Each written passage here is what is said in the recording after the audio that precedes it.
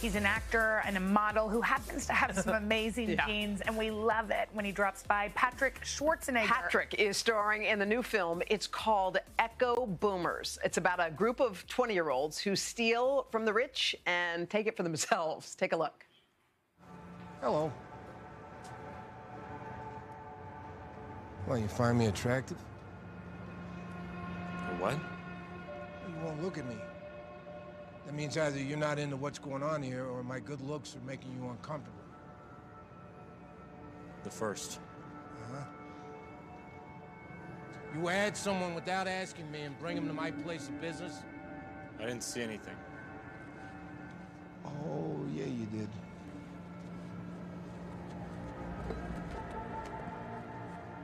You say one word to anyone. I dare you. Wow. Stop We it. are- Patrick. And Patrick is here. Hi, Patrick. Hi, Patrick. How are you guys? Oh, we're so happy you're here. By the way, you're good in this film. Look at you. Tell, uh, tell us about the premise. I mean, this is an interesting, interesting premise.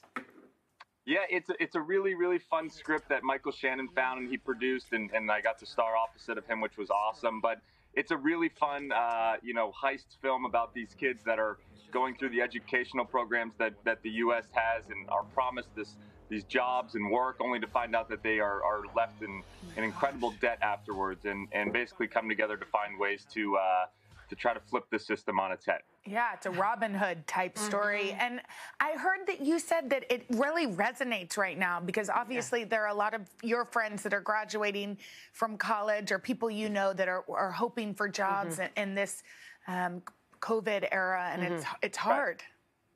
Yeah, I mean, I can only I can only uh, kind of compare it to what my brother and all of his friends are going through. You know, he just graduated Michigan back in May. They didn't have a gr- graduation, but I, I was talking to some of his friends, all who were, you know, had had taken out student loans and gone through this amazing, uh, you know, collegiate program at, at University of Michigan, and every single one of their jobs was canceled come the day of graduation.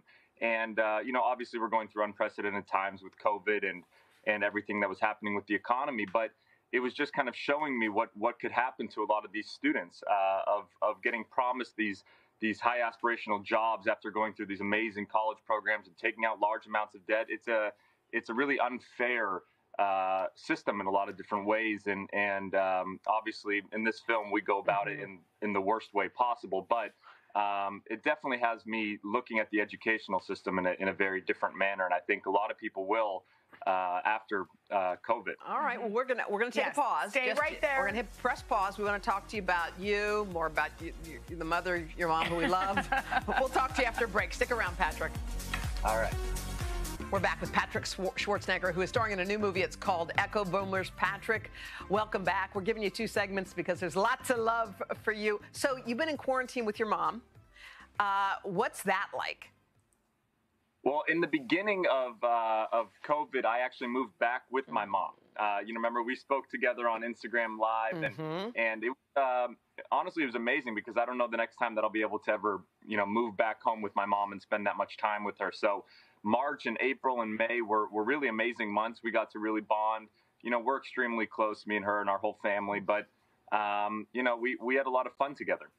Hoda and I love your mom so much. We really do. And I always ask her, I'm like, how did you raise Yes. kids who are so unique, but the love is so evident? You know, you guys, your your family is like this unit.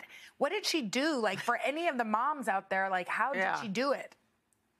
Uh, uh, manners was a was a was a huge component growing up. Um, you know, she would uh, if I didn't open the door for her and let her walk through first, she would just stay outside and wait. uh, so that was a big thing. If we didn't stand up when when she walked in the room, or any uh, you know lady walked in the room, that was a big thing as well. But you know, she loves you guys too. She was talking on. We were driving to Santa Barbara this weekend, and she was bringing you both up, saying how great of friends you guys were, and and how much she missed coming back to New York and getting to work with you guys and have meals and break bread and and she just wrote about that in her Sunday paper this past week. So I know she misses you guys a lot. Well, that Sunday paper is one of our favorites. She, by the way, she turned 65, and she said for her birthday she just wanted calm. That was part of it. How was her birthday?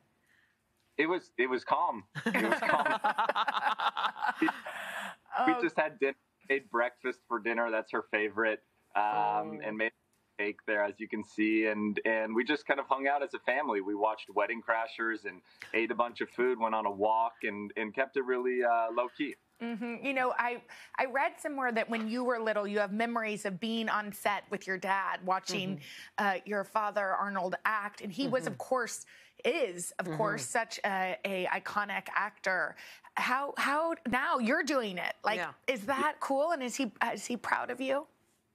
Yeah, he's so proud of me. My my you know my both my parents are proud of me, and uh, it, it's it's pretty surreal because I remember growing up and going to set with him, and it was like my favorite activity. And I was so sad when he became governor to, to go from to uh, Universal Studios lots to the Capitol. Um, but it was uh, it was really surreal to have him come to set and have kind of the the pages turned and. Um, yeah, he's he's really proud of me, and I, you know, they're so supportive, and um, you know, I'm, I, I couldn't ask for a better parent duo. So, Well, we're cheering you on, Patrick. sure Good luck. are. Good luck with this movie too. Okay.